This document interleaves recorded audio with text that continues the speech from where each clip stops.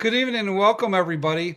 It's a pleasure to be here with you tonight on Mead Public Library's Facebook page, uh, coming to you live from Sheboygan, Wisconsin, in the upper Midwest.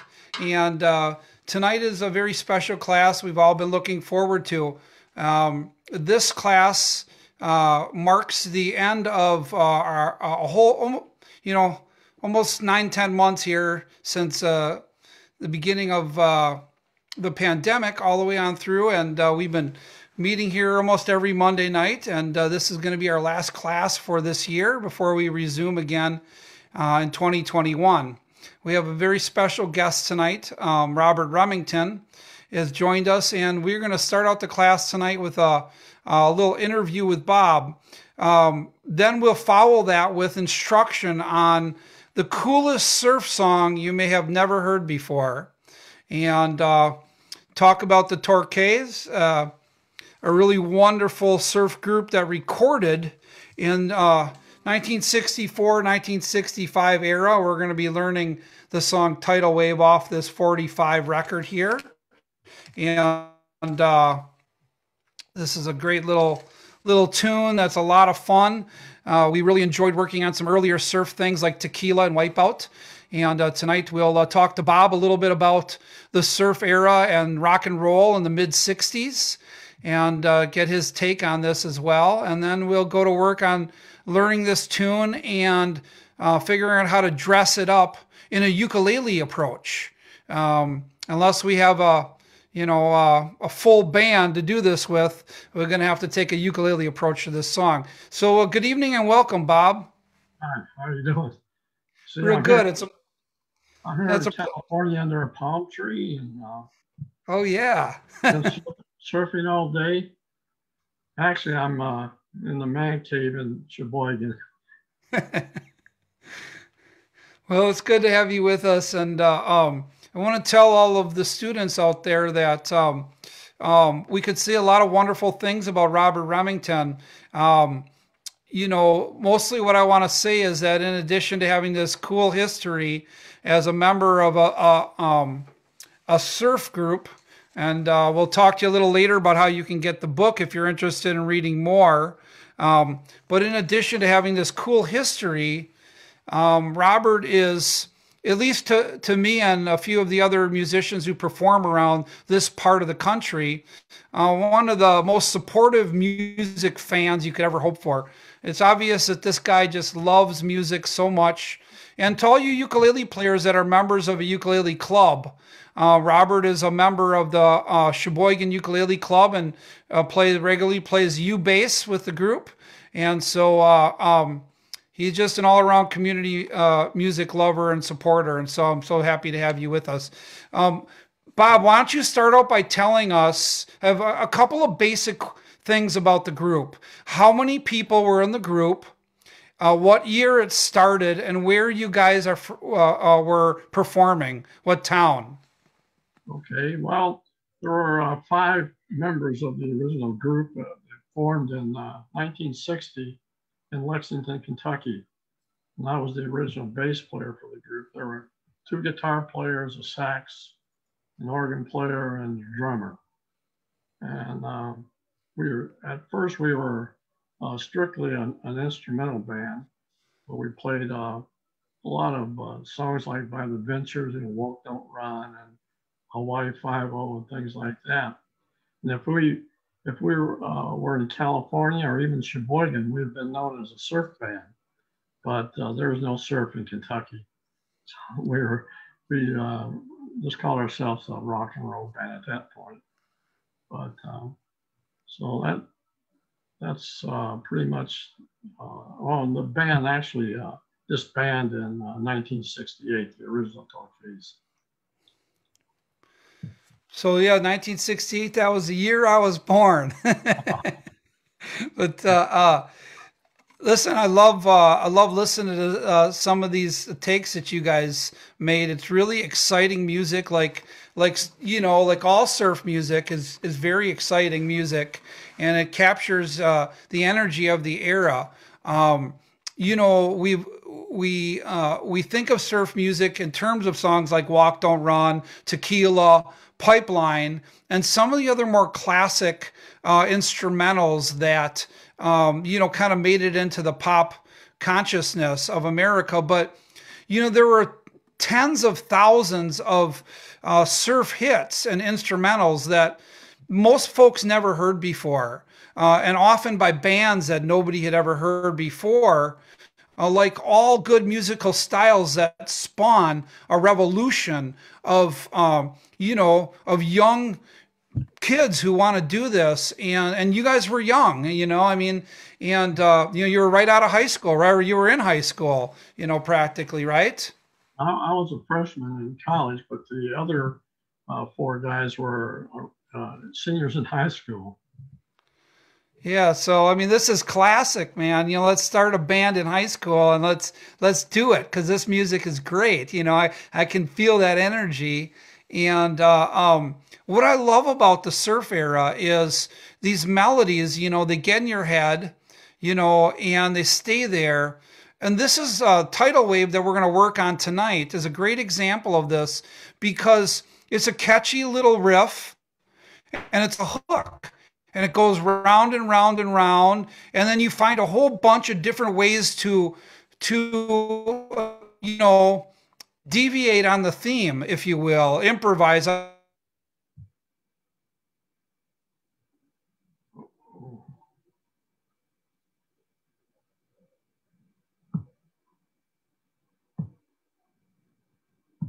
I'm looking forward to teaching this tonight, but uh, talk to us a little bit about what inspired the tune Tidal Wave. Well, uh, first of all, around 1961, uh, we we started listening to surf uh, instrumental surf songs, and uh, our, a big influence was uh, Dick Dale and the Del-Tones. They they put out a song. One I remember is "Let's Go Trippin'," and we discovered that we actually had the the same instrumentation that they had, but even better, we had the same Fender equipment that they had, uh, especially the amplifiers. Now, it turns out that Dick Dale worked with uh, Leo Fender to come up with um, um, an amplifier with a built-in reverb unit. And that reverb unit was kind of unique and it gave what they called a wet surf sound. And we had that and so that led us to uh, a song like Tidal Wave. And you can hear the same sort of wet surf sound in, in songs like Pipeline, Wipeout. And so that was the big influence was, to me anyway, was uh, Dick Dale, that, that more traditional instrumental surf stuff. Yeah, I first heard Dick Dale, uh, his version of Misirlou and um, and that was a real classic for me. Um, but yeah, he represents, I think, a natural evolution of um, of, of players who were who came to the fore in the late fifties, and so you had guys coming out of the you know rock and roll really coming into its own in the 1950s, and uh, a whole bunch of really good, good instrumental players. Um, you know, the class, the earliest classics being Chet Atkins and Les Paul and people like that. But uh, as we move into the rock and roll realm, there were many players that bridged the gap that a lot of folks have forgotten about, like Link Wray.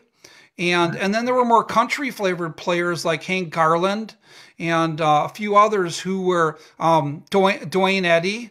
Um, you know people uh, uh, who were recording really cool things that weren't called surf music but they were just pre-surf music you know? And um, everybody was looking for that neat sound and playing with uh, trying to get a different tone. So so you're right on the money with the reverb you know? And i got my you, you really won't hear it too much tonight because i don't want it to distort out through the mic but you know i got my reverb set on my little amp here in the room and uh, um, and when you when we play this music live, we always lean into that reverb and the tremolo and some other things that really uh, built the sound of this this music. Um, I want to add, um, Robert, that um, while surf music tended to be a guitar centric type of music, ukulele was certainly part of that culture because um, it first of all was used to market surf music, and uh, it was simply part of that whole beach culture that uh, you know uh, the Beach Boys capitalized on, and a lot of others. Even though you didn't actually hear uke in uh, you know too much of the music. Dick Dale, interestingly, is a ukulele player. A lot of people don't know that. Um, so so it's definitely there. And um, uh, so tell us a little bit about uh, um, what your gigs were like. What kind of places did you play at? Well, we played uh, uh for fraternity parties, uh, proms, uh, nightclubs, and even television shows. What I, what I really remember is, turns out each town had sort of a American bandstand type of setup. And in Lexington, uh, Nick Clooney uh, had a, a, Saturday morning dance party show that, that we played on. And turns out Nick Clooney is uh, uh, George Clooney's dad. So we got a lot of mileage out of that one. Yeah, that was a good one. Now, being, being Lexington, being horse country, we were uh, lucky that we were able to play in several uh, extravagant well paid um, horse farm parties.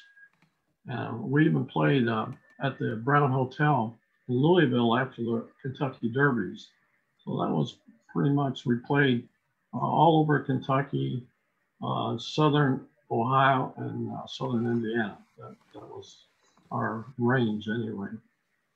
And uh, where did you guys record um, your tidal wave 45? I think Tidal Wave was recorded, I believe, in Manchester. We we recorded uh, before that four instrumentals in uh, Owen Bradley Studios in Nashville, the same studio that Elvis Presley, Bobby Dylan, and, and some other folks recorded at. And but um, they we didn't call them surf songs, but they actually had that that surf sound. Uh, but the well, it seemed like it was the right time to record a surf song. Uh, and the Torques recorded in well, beginning in 1965. Uh, unfortunately, uh, the British invasion happened in 19, late 1964 and kind of uh, had a negative impact on, on the surf music. Uh, we, we were able to survive since we had singers. By 1963, we could do all the rock and roll stuff, uh, vocals and and instrumentals. So that, well, that sounds like it was just such a good time, and yeah. uh, um, and after um, after the band broke up and that, did did you continue to play music off and on, or what happened with your music after that?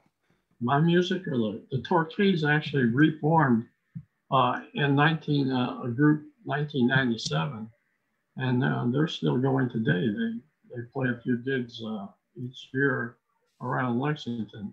But I I just sort of uh, played in uh, a folk group during that same time called the Villagers with Pat Horine, who turned out to be uh, a member of the Kingston Trio. So I, I kept playing. Uh, I played in a big band. I played in a German band. I played in England. I played in a more of a country band and but the Torques carried on. They sort of drifted away from the surf music more into the uh, British and uh, and the psychedelic stuff, which I lost interest in. So.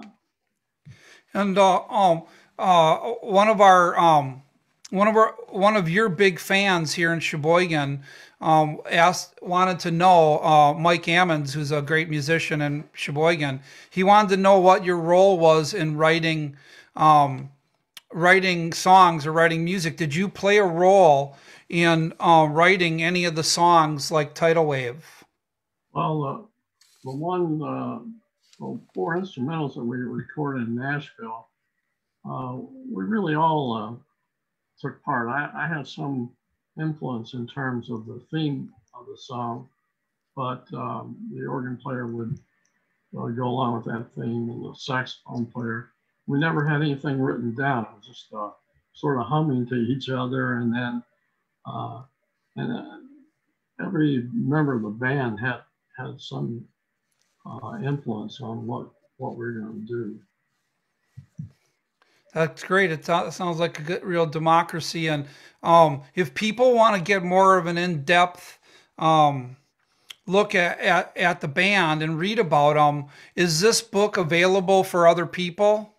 Well, so I'm I'm planning to put a copy of it in the Mead library so people can learn more about the band.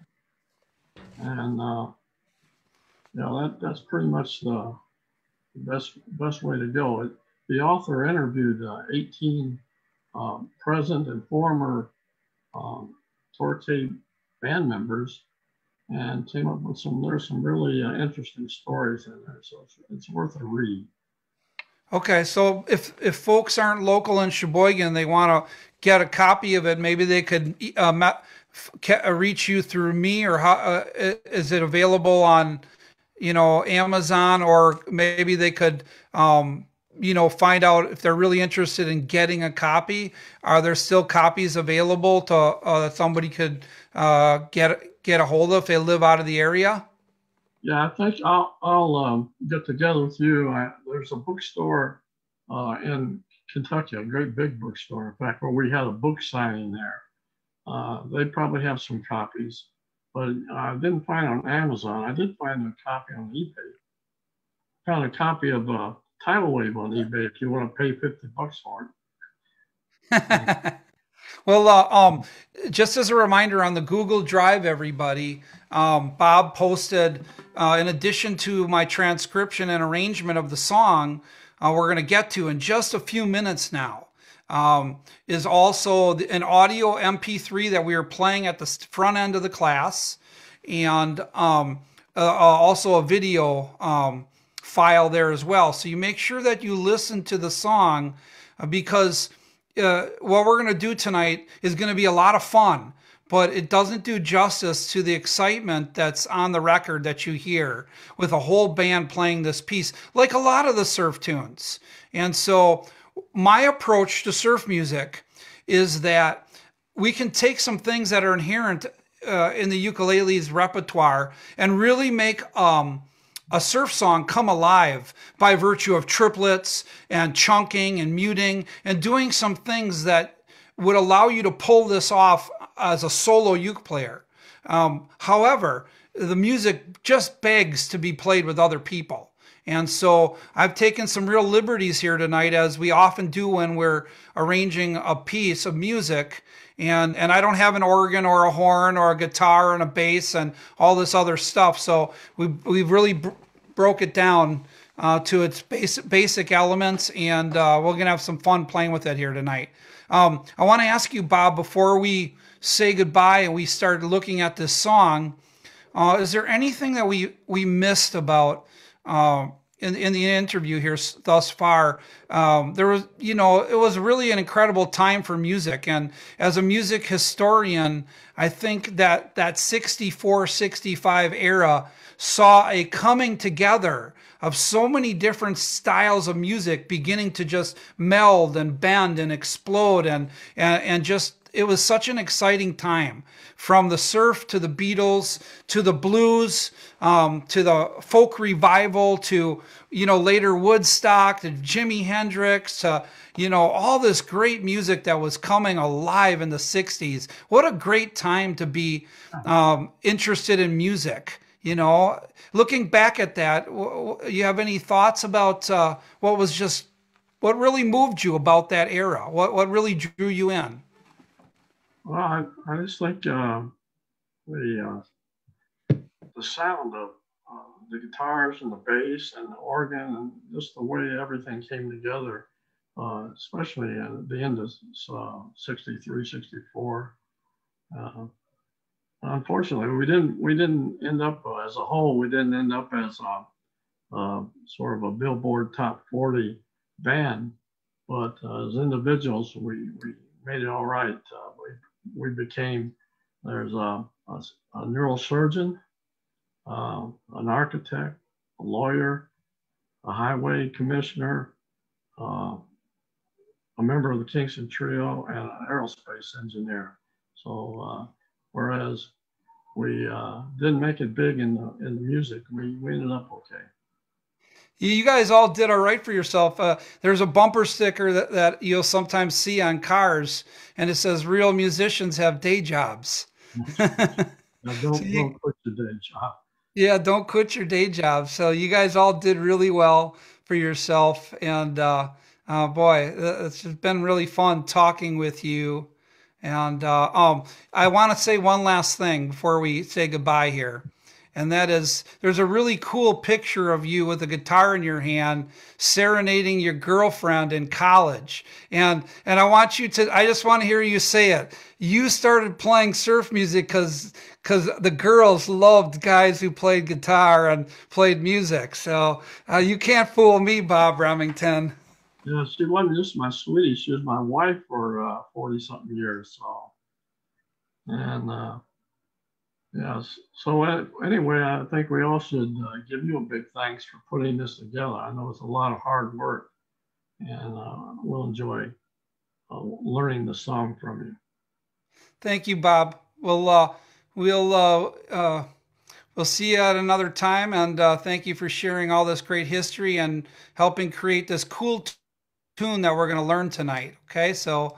Uh, at this time, I guess Bob will sign sign off, uh, mute his video, and uh, and I'll take over the teaching part of the of the evening here. Thank you again, Bob.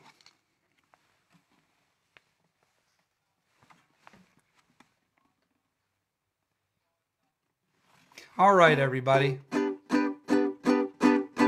Thank you, guys, and uh, let's get started with the music here. Um, we will uh, look at the, the pages that I that I gave out uh, in the Google Drive. And um, so we're going to break this song down and we're going to talk about what really makes it cool and interesting piece by piece. And um, again, I want to remind you that um, this is not a note for note transcription. I've never been a note for note guy. I just go for the feel of the tune. And and again, without a, a drums and bass and all that other stuff, we got to do the best we can. Okay, so if you listen to the recording, you hear the drums start off playing a really syncopated intro. That syncopated intro will be very hard to copy rhythmically when you're teaching all levels at once. And so um, I recommend a basic muted intro. And, and what I wrote, wrote out for, for the intro is just um, using the calypso strum. So I'm covering up the strings and I'm doing, I don't know, about two measures of um, down, down, up, up, down, up, down, down, up, up, down, up. Okay, so that's going to be my variation on the on the really cool drum intro. Okay, and that's just a down, down, up, up, down, up, down, down, up, up, down, up. By the way, I want to tell everybody that when I wrote out this arrangement, I called Bob and I asked him if he would um, give me his blessing, and I played uh, what I had worked out for this tune to make sure that uh, it sounded good and it sounded right and it met with, you know, a founding member of this group's approval. You know, because when you're arranging something, you take a lot of liberties. And so, um, again, I'm covering up the strings. And that's a calypso strum. So it's down, down, up, up, down, up, down, down, up, up, down, up. Okay? Down, down, up. And then there's a little breath. That's a syncopation. Down, down, up, up, down, up. Okay? It's almost like you're breathing in after the down, down, up. Okay? And there's a little breath and then up, down, up. Okay? So that's going to be our intro. And that's important too, even though it's a very short part of the song. And then on the record, after this drum intro, you hear the guitarist doing this. This, this like heavy on the downbeat rock and roll uh, muted strum. And that's pretty cool too. But I don't think it's a necessary part of what we're going to do tonight. Okay, so so we got down, down, up, up, down, up, down, down, up, up, down, up. And that would be our intro. And then I think it's pretty cool to just go into the um, the, the strumming of the chords and the oohs. And so there's no words on this, it's just ooh. which is a classic 1960s, you know, phrase to say ooh. All right, there are a lot of songs. If you took all the oohs out of every Beatles song, uh, you'd be hard pressed to, uh, you know, to call it call it a tune anymore because there are plenty of them. Okay, so you got G and F are the backbone of this song. G and F. Okay, so after you get your intro.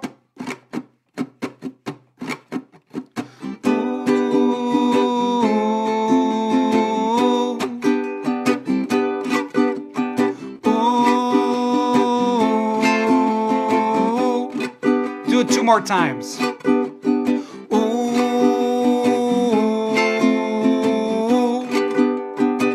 One more. Ooh.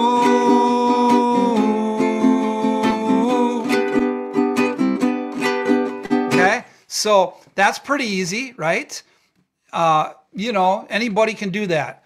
Going from the G to the F is very cool. Typically, a 145 would be G, C, and D. But in this tune, we go from G to F. Now, what other tune that's a classic surf tune does that as well? Okay.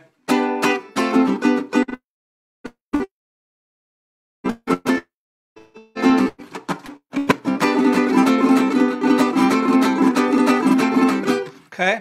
You know that one, right? Tequila. So um, that's another one. And maybe, you know, maybe that inspired this tune.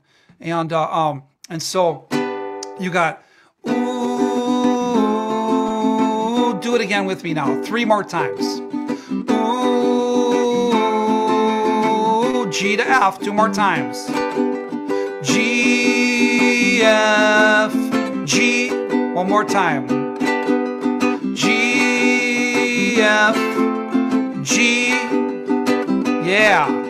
And then after it does that a bunch of times, right? And when you're making, if you're going to play this arrangement and this tune, um, you know, it's really going to come alive if you can play it with one or two other people. Just get some other rhythm going, especially if somebody's an improviser, okay? Because this song is ripe for improvisation. And so you start out and you do that that main ooh and the G to F bunch of times, two times, four times. That's a good place to start after you do.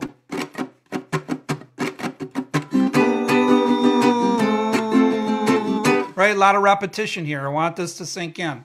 Okay, then you come to uh, uh, you come to the main head. Okay, and um, you'll hear the horn play this the, the saxophone play this, you'll hear the organ play this, and you'll hear the guitar player play this. And so they all take turns playing this head or the main riff, the hook that we're now going to learn. They each play it, and then they do some variations, okay? And and so we're about to get into that. But another thing that happens on this is that in between the oohs, ooh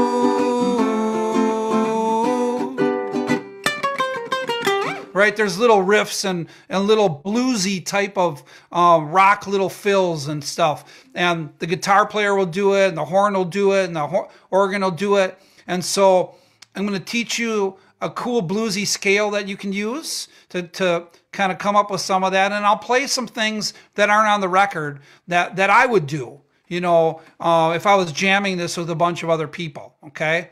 Um, and so and then variations on how to play the melody. So here's the main riff now. We're going to look at um, we're going to look at uh, the second page of the packet there that I that I gave you, and it says main head signature riff uh, on the page. Okay, and here's what we have tabbed out. Okay, there's two ways to do this. One I wrote down, one I did not. Okay, but there's lots of ways to do this. And so you're to go, yeah, we're I wrote it out so you could stay on one string. All right, that's easy. All right, so three. That's the first part of the riff. Three, five, six, five, three. Three, five, six, five, three. Okay. Quarter note, eighth note. Okay. Okay, that's the first part. All right, and I'm using my thumb and I'm picking down beats. Okay. All right. And then you're going to play the same same kind of phrase, but you're going to move your finger up to the first fret and go. And I like to double up that ending note. And I'll tell you what I'm doing with these little glissando things that I'm adding in there too. These kind of rock guitar, that kind of stuff in just a moment. Okay, so place your finger on the third fret of the E string and and I, my index finger. Okay, and I'm gonna go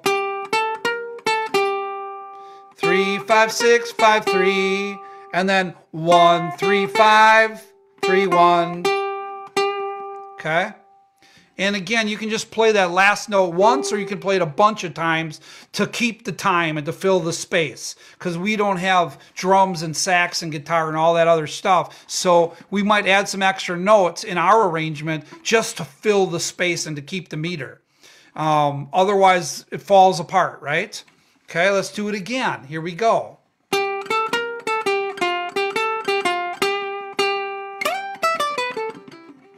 Okay, one more time.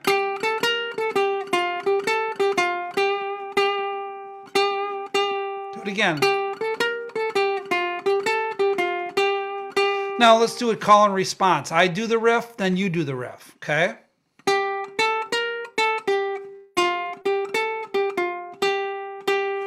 You do it now. Good. Good job. Okay. I do it, you do it.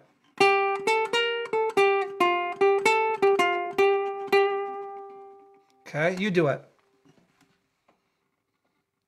Awesome. You guys are sounding good. Okay, one more time.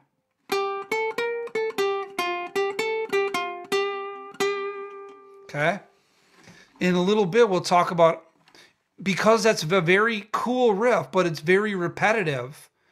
There are things we're going to want to explore to create some variety so that it doesn't sound too monotonous. And it's a very cool little riff. It's bluesy, right? It's got that flat and third in there. So you start out on G and then you go to A. Okay.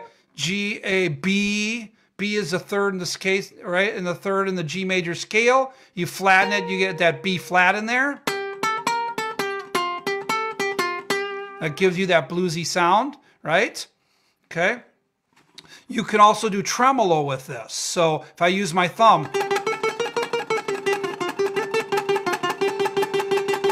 and I'm using the edge of my nail, and I'm and I'm using my finger to support my thumb.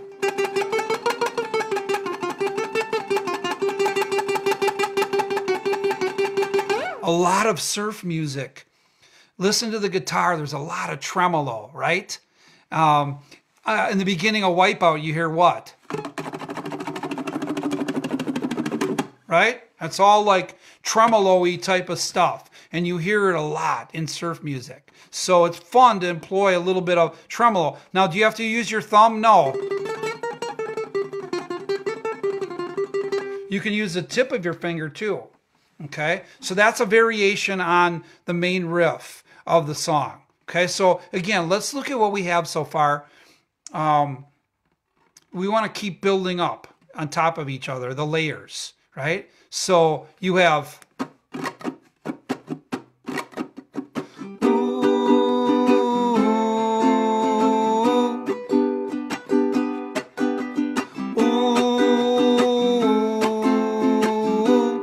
four times, let's say.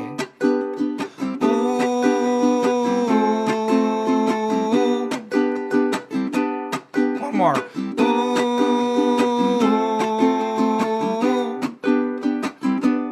I think on the record they did it two times. The oohs were sung twice, but we need all the help we can get in terms if we're going to do this as a solo arrangement. So that's a prominent feature in the tune. So we're going to sing it you know, at our at our discretion, two to four times, and then we're gonna we're gonna go into the riff, right? We're gonna go.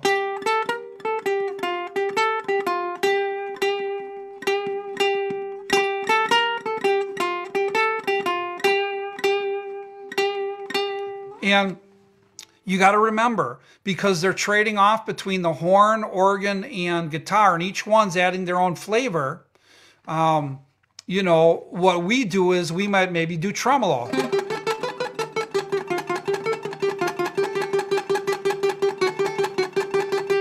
Okay? Or double, you know, double or triple up and create some variations.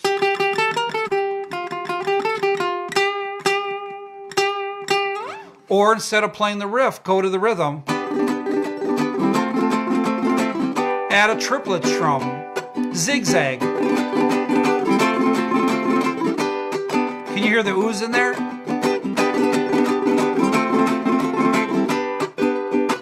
I'm also adding chunking, which we talked a little bit about.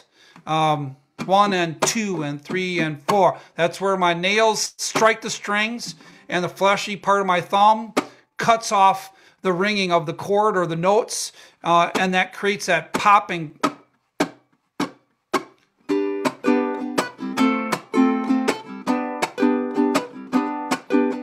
One and two and three and four. So every every time we get on uh, on that strum, one and two and three and four, one and two and three and four, we're striking the chunk on the two and the four. This is just rhythmic variation. That's all that it is.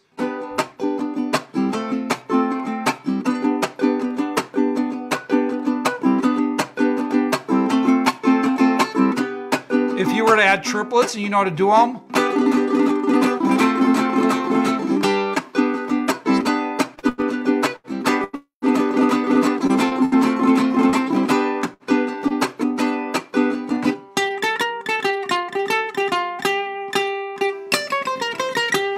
So what did I just do there is that little turnaround. If you look on the page that I gave you, it says Lil Rev super simple two string G blues scale pattern. So if we if we learn the G blues scale on two strings, which I really like because it simplifies things, um, we put one finger on the third fret, one on the sixth fret, okay, of the E string, and then so we go. So we got three, six, then we go over to the A string, and we got three, four, five, which is C, C sharp, D. And then we got to add two more notes in there. And that's the eighth fret and the 10th fret.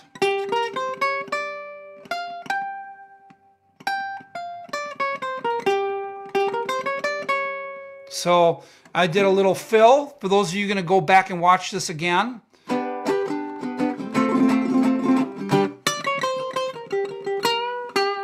So I'm just playing, I'm just riffing on that scale, okay? Watch.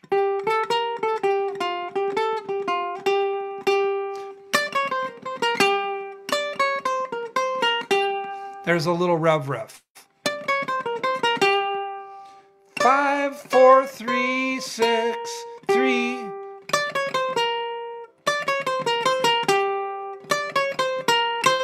So I go from six on E to three on A. And that's a little fill. And you're going to hear lots of little fills on that record. Okay? Including one I'm about to teach you that's kind of a ripoff of what the guitar player does. Okay? Because they're all going to take turns playing solos on that theme. All right? So, so again, we have.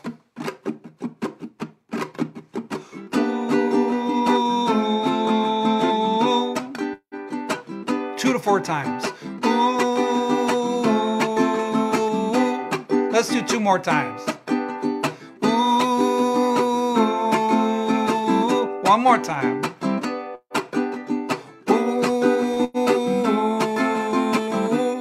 Now the riff, two times.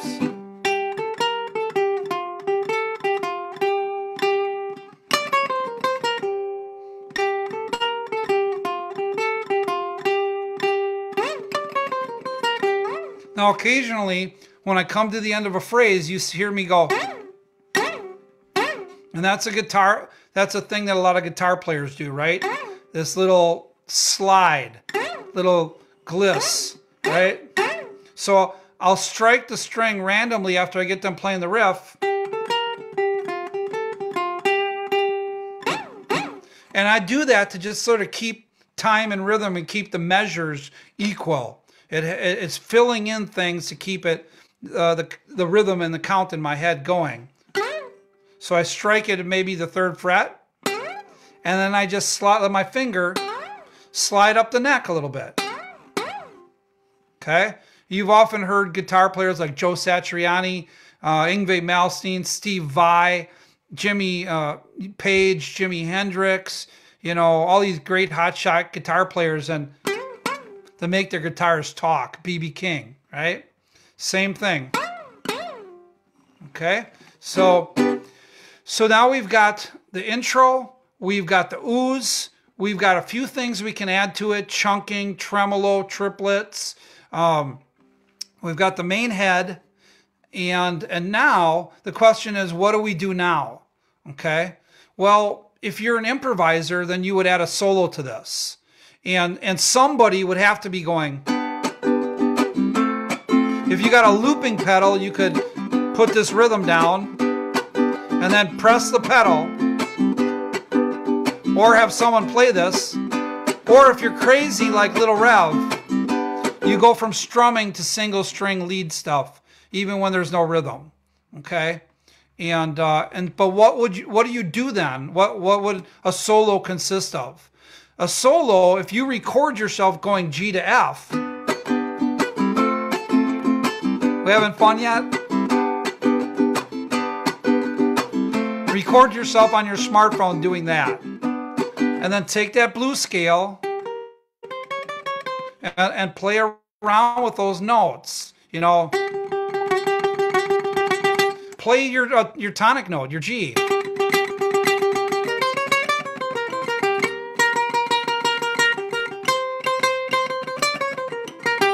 listen to how the chords change and what sounds good, and you'll come up with some phrases and riffs of your own. Okay? You've also got things like your Chuck Berry type bends and riffs. One finger on the fifth fret of the uh, A string and uh, the eighth fret of the E string. Put three fingers down, press up, bend it, and you got classic rock bends. So I push the string up towards my chin, and then I strike the A string fretted to a D. So that's a cool classic kind of riffing type of rock thing that you could do. Um, another thing that you could do is you could go up the neck onto the 10th fret.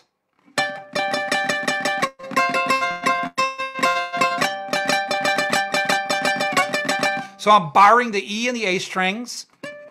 This is another kind of classic rock thing that you could throw in here. And I'm going to slide from the ninth to the 10th. But I'm going to follow the chord progression G to F. Or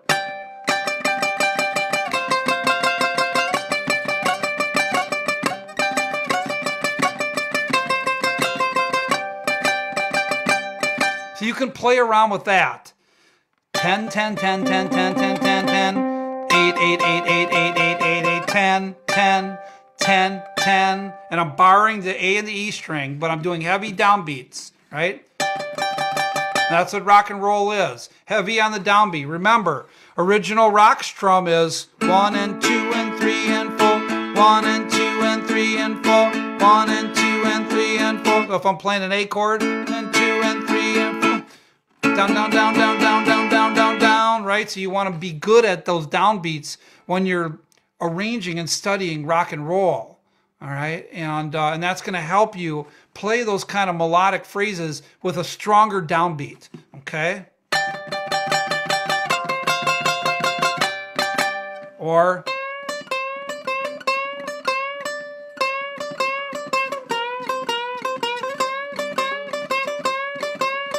Okay? Uh, but that blues scale is going to work just great. If you listen to the guitar player on this 45 record, okay, there it is right there, all right? And for that matter, a lot of surf music, okay? There's the, one of the best books you want to read on the history of surf music, okay? Surf Beat. Get it from your local library or order it on Amazon. Right. If you listen to enough surf music, um, you'll hear a lot of influence of the blues. And so you know, yeah, pentatonic comes into play, but um, that bluesy, rocky type stuff really sounds good, you know. So play along with what I wrote out um, as uh, the uh, Little Rev super simple two string blues uh, blues scale pattern, and, and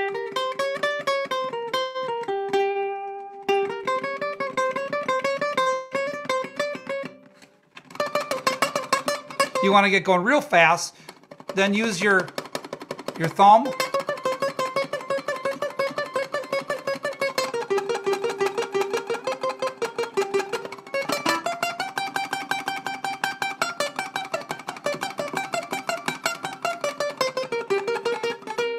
But don't get too carried away because surf music was about its simplicity. And that's what really makes it memorable is because they're in a million notes. It's very ensemble playing music. And um, I'm sure there's some examples of uh, note, notey tunes, but these are tunes that are fun to play and easy to play because they are um, attainable by most musicians. Okay, that's why this music is so accessible. All right, so mess around with your blues scale. I included another little riff. It's called Little Rev, super simple uh, pentatonic G run. Right, so so maybe I'd go I'd go one more time.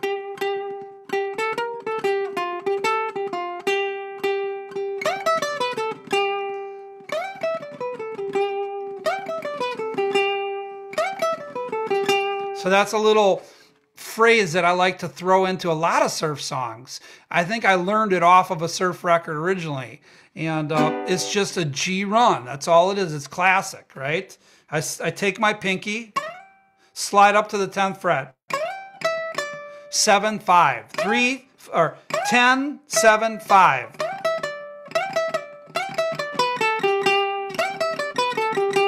And that's 10, 7, 5, then we go to the E string. Seven, five, three, twice.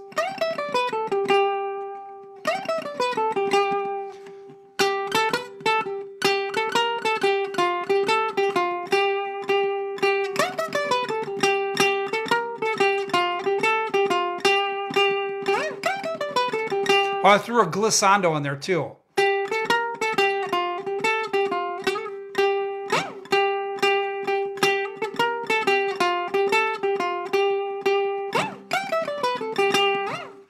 Okay? Fun stuff. I mean, really fun stuff. You could do full chord tremolos too. Ooh, ooh, thank you, Robert Remington. Ooh, thank you to the Torques for creating this cool song. Ooh,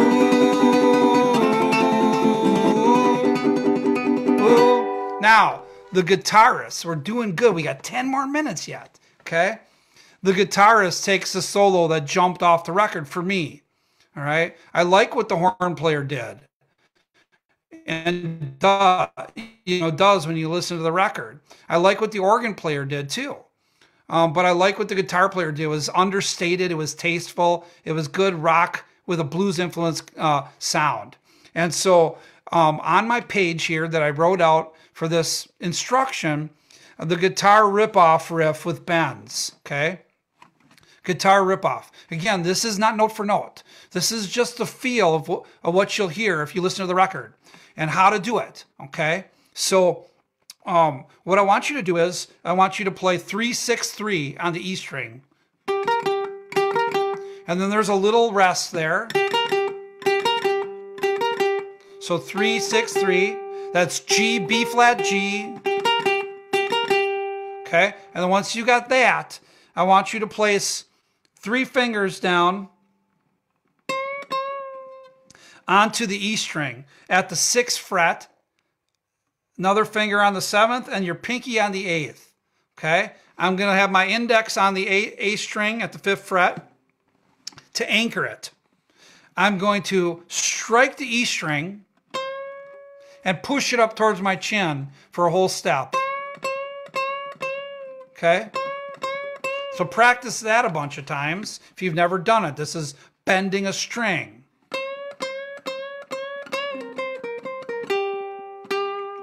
And there's so many different variations we can do with this. The main thing is that you just get this sound, okay? If you can go, you could do that indefinitely and it sounds good when played with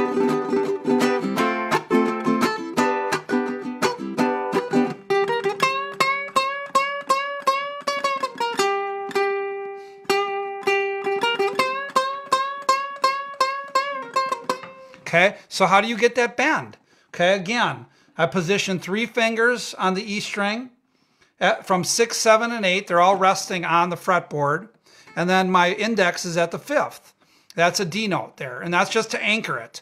I strike the E string and I push with all three fingers that string up. Gives it a bluesy sound, right? Okay, and you don't have to adhere to what I wrote out here. You can, you know, again, if you record yourself playing G to F, you'll have something to see how it sounds with. And, um, and so just record yourself going over and over again. Then you can sit there and go and play with other notes. Uh, generic phrase would be something like this. So you go.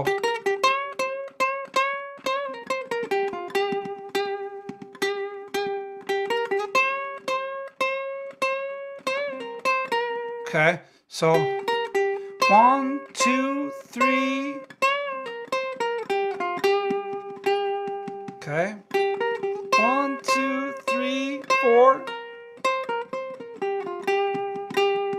Okay, and then I'm just going eight, six, three, one, and coming back to the three, our root tone, right? So if you worked on building that up, that could make a cool riff too, right there.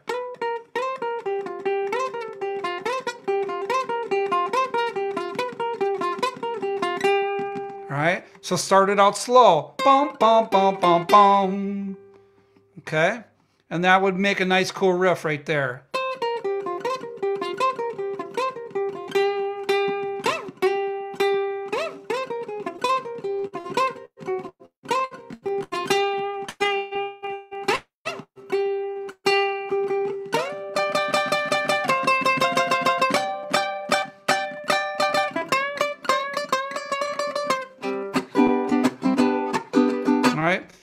Sounds really nice when that rhythm is just right there next to you if you go to do those solos. Okay.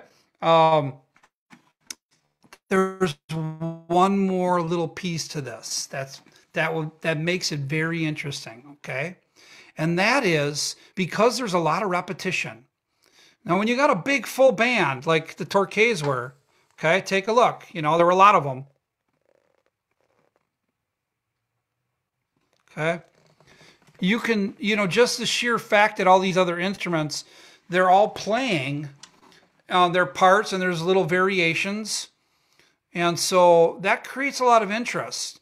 But when you have a song that by and large revolves around two chords, um, to keep it interesting, especially if you're going to do it on the ukulele, um, it was classic part of the surf era would be to modulate.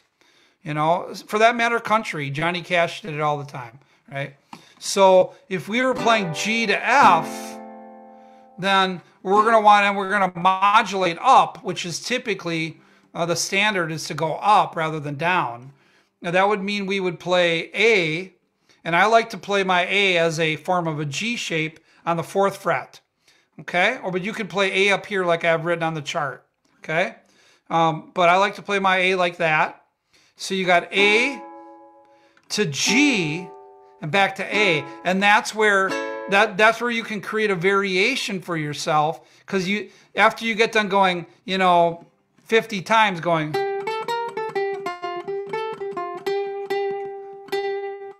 then you could go you just went up a whole step.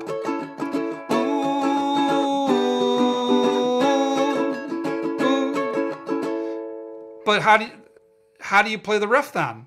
Okay, you just learned it in G. So for my intermediate and advanced students, you might want to modulate because it's more challenging for you. Um, for my beginning and advanced beginners, you just stay, you might, might not want to do this. But for those who want the added challenge in these last couple minutes, um, you would go from A to G. And I wrote out the riff at the bottom of the page there. And we're going to go five, seven, eight, seven, five. So we got five, seven, eight, seven, five. Then we go to three.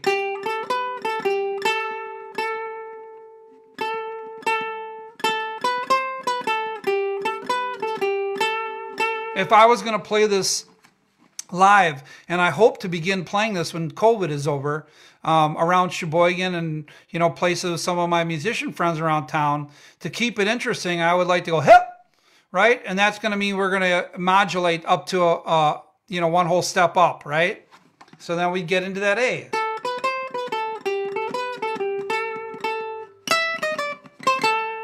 Okay, so our blues um, notes are going to be five on E, eight on E, five on A.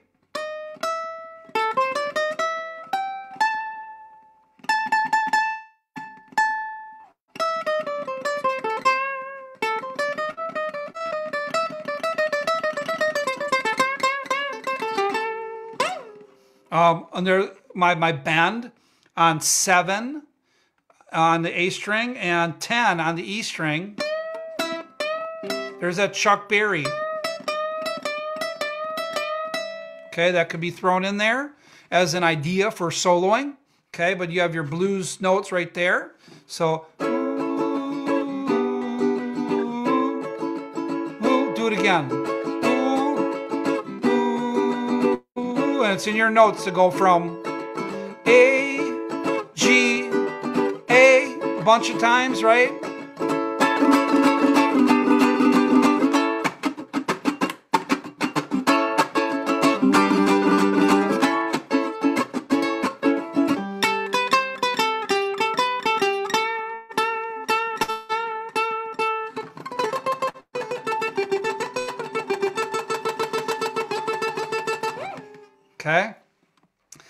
And uh, yeah, and then it just keeps going until it till it can't go no more, you know, and then finally you get